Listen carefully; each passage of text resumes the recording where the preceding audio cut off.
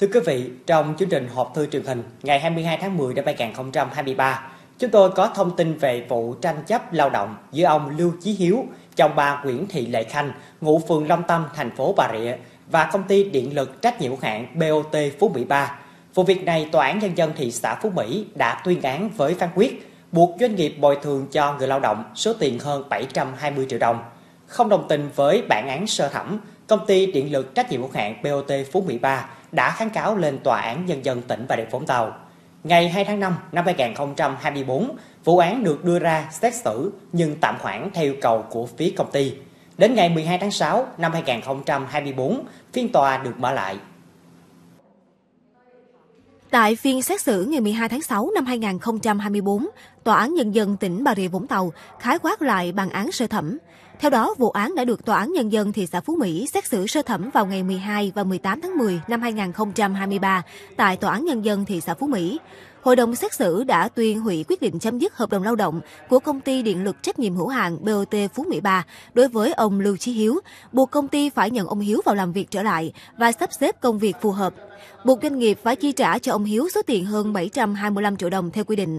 Đồng thời nhận định đủ căn cứ khẳng định vụ việc của ông Hiếu là tai nạn lao động, danh quyền khởi kiện cho ông Hiếu trong một vụ án khác nếu giữa doanh nghiệp và người lao động không thỏa thuận được về bồi thường tai nạn lao động.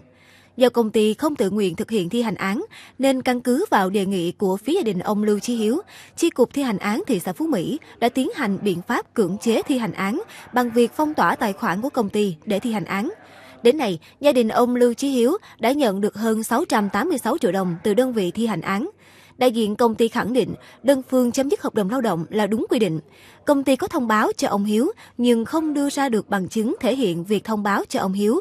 Phía công ty cũng khẳng định tai nạn của ông Hiếu là do bệnh lý, không phải tai nạn lao động. Bảo vệ quyền lợi cho ông Lưu Chí Hiếu tại tòa là ông Nguyễn Trung Ngạn, trưởng ban chính sách pháp luật Liên đoàn Lao động tỉnh Bà Rịa Vũng Tàu, luật sư Vũ Ngọc Hà, giám đốc Trung tâm Tư vấn Pháp luật Công đoàn tỉnh Đồng Nai. Đại diện bảo vệ quyền lợi người lao động tại tòa khẳng định, việc đơn phương chấm dứt hợp đồng lao động của công ty với ông Hiếu là sai. Ông Hiếu và gia đình không được thông báo đúng thời gian luật quy định về việc công ty đơn phương chấm dứt hợp đồng lao động. Ngoài ra, tai nạn của ông Hiếu là tai nạn lao động dù công ty có đảm bảo các điều kiện về an toàn lao động theo luật quy định. Phát biểu quan điểm về vụ án, đại diện Viện Kiểm sát tham gia phiên tòa nhận định công ty có quyền đơn phương chấm dứt hợp đồng lao động với ông Hiếu.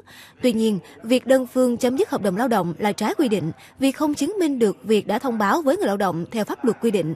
Ngoài ra, tại phiên tòa, chỉ xem xét nội dung có hay không việc công ty chấm dứt hợp đồng lao động với ông Hiếu trái quy định, chứ không giải quyết nội dung tai nạn của ông Hiếu có phải tai nạn lao động hay không.